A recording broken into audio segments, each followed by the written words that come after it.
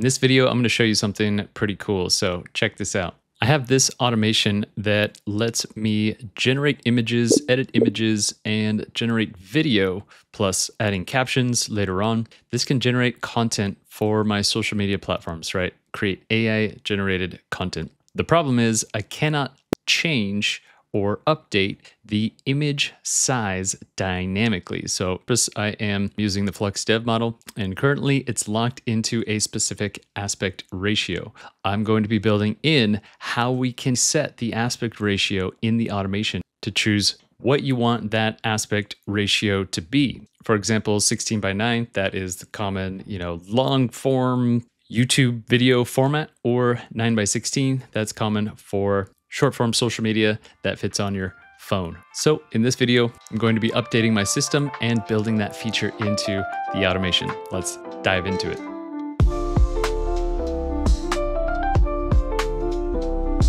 All right, let's jump right into it. So what we're going to be doing today is expanding out the Airtable base to be able to adjust the image aspect ratio dynamically, right? Now, if you're wondering what this automation even is, this is part of my seven day automation bootcamp. In the bootcamp, I show you exactly how to build this automation, this N8N workflow, and this Airtable base. This is my master content management system that handles all of my social media content posting. I can post manual workflows right here on a schedule. I could drag and drop all of my content right into a media file slot, create a new post, drag it in my content, and have that post to social media automatically. Okay, all of that stuff can be generated in this automation right here, then get sent on to be published to all of your social media platforms. All right. In this workflow right here, I currently have YouTube and Instagram just for this demo, and they are currently deactivated for this video. So we're going to be expanding this out and getting in dynamic aspect ratios to send to the image generation models. Now, for the bootcamp, we're going to use the Flux Dev model. This is the one of the cheapest models to run for image generation, and it does a very good job at image generation. It's very fast, very cheap, and works really well, especially for testing. But you can choose to use any image gen model in here. And down here, we're using Kling 1.6. Okay, again, you can swap out any model you want inside FAL and use whatever generation tools you like. But for now, we're going to be using these two models. Just taking a look, giving you guys a sort of overview here. This is some of the work that gets output by FluxDev. It's pretty good. Here is that image that was turned into a video with the system. Not bad, that looks great. Again, I will show you step by step how to build this entire thing from scratch if you join my seven day automation bootcamp.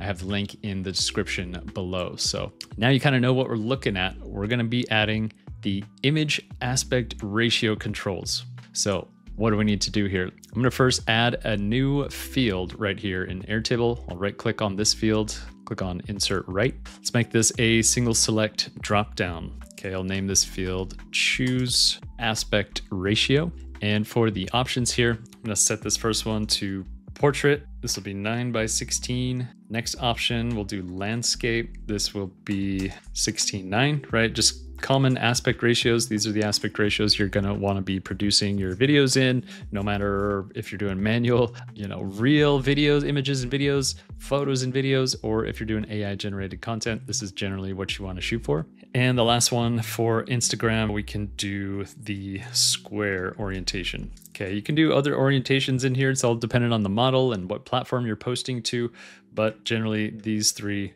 are the common ones right here. So I'm going to set those options in there. And you guys know me, I like to color code stuff. So I'm to color code all my selections here, just like that. Now I tend to color code this because at a glance, I can see I have a, a schema for my color coding, right? Anything that's sort of portrait or image related is blue. So you can see the image thing right here. Anything that's landscape or video related is this pink color. So it helps me at a glance just see everything, you know, everything that might be an image, everything that might be video related. I have that my own system and color coding, right? So what we can do now is assign an orientation, right? We have a new dropdown. We can assign these orientation to our new video or image or video productions. So we need to add a couple more fields in here. Okay, this is the one I want to see in my AI workflow view. Okay, I've created some other views in here. Views are just ways of organizing all of your data in a table. All of these views contain all the same data. I'm just hiding and showing the relevant fields depending on what workflow I want to see. And get in this case, this is everything that's manual related. In this AI workflow right here, this is everything for AI generation. And in this view, I have everything for writing the captions, you know, generating the captions, adding hashtags, and posting to my accounts. So in my AI workflow, this is the field I want to see and interact with, but I actually need two more fields in here for the automation to work. So I'm gonna come into my all data view. This is just a you know bird's eye view of everything in this table, all the fields, all the data not particularly organized in any way, but you can see the new field I created is at the very end, all the way down my list at the very end of my fields in this table. Okay, so here I am. I'm gonna create two new fields here in my all data view. And this first one is going to be a formula field for this formula. Okay, we need to write a sort of complex formula here. In Airtable, you can create any formula that you want, just like in Google Sheets or something, writing out a formula to do calculations, things like that. So we're gonna create a formula similar to that, but we're going to use Omni. Omni is pretty cool. It's Airtable's new AI agent built right in, so we can ask Omni anything and have Omni build stuff for us. So what I'm going to do over here in my new field is have Omni create this formula. So I'm going to click this button and just in plain English, say what I want done here. I want a couple things. This field must display data related to what selection is made in choose aspect ratio. Remember, that's my other field I just made for those drop-down selections. And I'll just keep typing, what do I want done very simply. When portrait is selected, display 916. So I'm gonna spell this with the capital P. That's what I have it spelled like in the options over here. And I'm gonna put quotes around it, right? We just need to give Omni that little bit of context. So now I can be a little more loose with my other two things I need right here. So I'm gonna say when, when landscape is selected, display 16.9 and display 1 1. You can leave a few typos in here the agent is smart enough to read your context, meaning that is the biggest hack in doing this vibe sort of building kind of stuff. You can leave typos. The AI knows what you're talking about. You can type much faster if you don't try and go back and correct your spelling. So let's create that formula. Let's see what Omni builds here. Great, there it is. Pretty straightforward switch case right here. And it gave our field a title, aspect ratio value. I'm just gonna rename this aspect ratio. Cool, create the field. Now we can see what it does. When I make a selection, it's going to display that actual aspect ratio value in just the plain text, right? This is something we're gonna use to automate this number right here. We have to pass on to the generation tools. So we need to do that same thing, create a new field. I'll just copy this field, I'll duplicate it. Now we have a duplicate field and we're going to change in some values here. So in N8N, the models that we're using, we're using an API called fal.ai.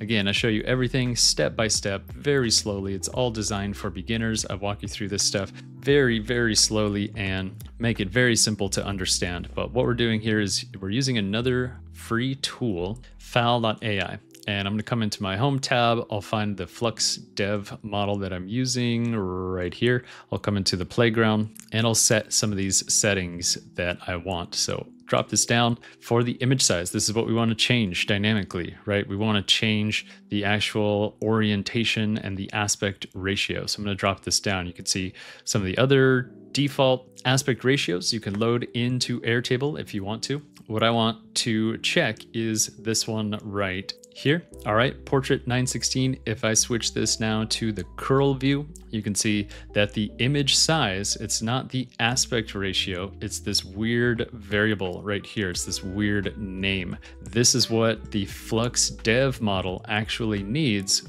for the orientation for the image size. It's going to need this weird name, right? So we have to enter in this weird name as our value. So I'm going to copy this right here portrait 16.9. That's how it's written. I'm gonna come back into Airtable. I'm gonna come into the new field here, double click to edit the field and I'll change the display value. I'll change it to that weird variable right there, portrait 16.9. Okay, I'll do the same thing. I'll grab the other one. So if I switch this view right here, we'll come back to the regular easy to read form view. I'll click on more to drop down the settings and I'll choose the landscape not that one, landscape 16.9 right there. Come into the form view, switch it to the curl this is the actual parameters we're using in N8N to send off all that information. So this is what we need right here. Landscape 16.9, grab that, jump back into Airtable and paste that one right there. Cool, same thing for Square. I happen to know what all of these are, so I'm just going to finish off Square by typing it in. Pretty easy, that's just Square. Great, so I'll save that. Now we can see the different values here. These are very specific to specific models. So if you run into situations where your models that you're choosing that you want to set up have weird variables, you'd have to create a new field for that specific model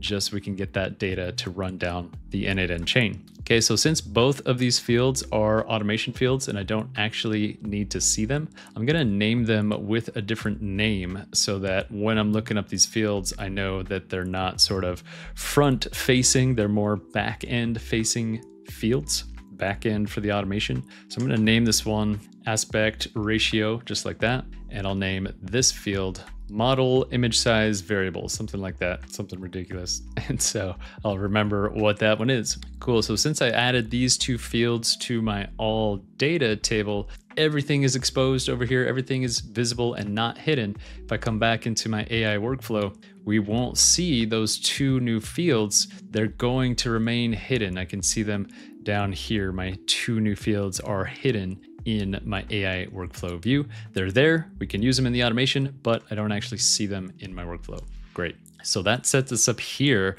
Let's actually run a new test and get data moving down the chains. So I'm gonna create a new record. I'll name this aspect test, something like that. Aspect ratio, let's choose landscape my other images over here, these were hard coded for portrait orientation. So if I test a landscape view, we'll know if that's actually working because it has changed, right? So I'm going to select my image preset. I'll mention again, guys, if this is overwhelming, you have no idea what I'm doing here, I teach you how to build this entire system step by step in the seven day automation bootcamp. You can check out the link below. Text input prompt. There we go. Let's dip back into the sci-fi fantasy stuff. So we're going to do barren sci-fi landscape, devoid of plant life, rough desert. You get the idea here for the prompt. Now, ultimately, you can, again, leave in typos. You can leave it super rough. We have an AI agent that is going to handle writing the actual prompt. We just need to give that agent some context. So right here, I'm going to choose generate image. Get that image generated. Okay, first, since the automation is inactive, I'm gonna need to come over here and test the workflow. So I'm gonna come into this node. I have some saved pinned data. I'm going to unpin it, get rid of that data. We can start fresh. Now, just to make sure nothing gets pushed down the chain too far, I'm gonna come in here and just break the route and get everything into this node right here. So let's come over here, test the workflow. I hit execute workflow to test this trigger and run the data down this generate image route. So I can select generate image. There we go. Jump back into N8N, watch this one come down, and boom. This edit fields node is collecting all of the data from Airtable, right? It's getting everything from Airtable and passing it down the chains. So this is where I need to get my new information. I'll double click in here, scroll down, and we can pass in the aspect ratio. There it is. I want to remove it from my data array. I can do that by simply naming it aspect ratio. And the model image size variable, set that there. Again, remove it from the array. I'll just rename it like that. Let's hit execute step. Awesome, got my two new parameters coming down. I'll click outside of this node so I can reconnect it back up. There it is. And here is the image prompt agent. This will take the crude image prompt, what I wrote right here, and write a much better prompt. So it looks like everything is linked up. I can just hit execute step. There we go. So much better prompt. This is the full prompt that will get sent to the image generation model. In this case, again, we are using FluxDev for testing. So everything should be connected up in here. I'll just test this node, run it down and pass it into Flux Dev. come into Flux Dev and we can pass in the new variables, right? So here is where I had a hard-coded variable that was testing some stuff earlier. So right here, I had that image size hard coded in. So we're gonna drag in the new dynamic variable right there. Now we can set that variable in Airtable and whatever we set it to in Airtable will get passed to the image generation model pretty awesome. So I'll click outside of this node, everything else should be connected up. So I'll just run down everything to the last node, hit the little play button to finish the test. This will wait 10 seconds, download that image, prepare it for Airtable, and drop it back into Airtable. There we go. Let's check it out in Airtable. Boom, there it is. And let's check it out. Landscape orientation. That's what we're looking for. Pretty good. And not bad for Flux Dev for landscape. That looks great. So that is it, guys. That is how you bring in dynamic image size to your content management system. I highly recommend diving into the bootcamp. It's only $10 to join, and I'll show you how to build this entire thing. You can start having fun with it. So, just to be clear, for those of you on YouTube watching this, I would have to go run down the chain and swap out the expression in here, but that's all we need to do. Flux would take in those variables and then Kling would use the aspect ratio of the image sent to Kling, right? If you're familiar with the image to video video generation, we just need to send them that image and they generate the video, right? I'm set up, ready to go. Guys, thank you so much for watching this video. Have fun setting up dynamic image orientation in Airtable. There it is, guys. Hope you found this video helpful. I highly recommend joining the seven day automation bootcamp. If you're an absolute beginner, it is a game changer. You can learn how to build this entire automation from scratch and create your first system. I've got the link in the description below. Guys, I look forward to seeing you in the bootcamp and I'll see you in the next video.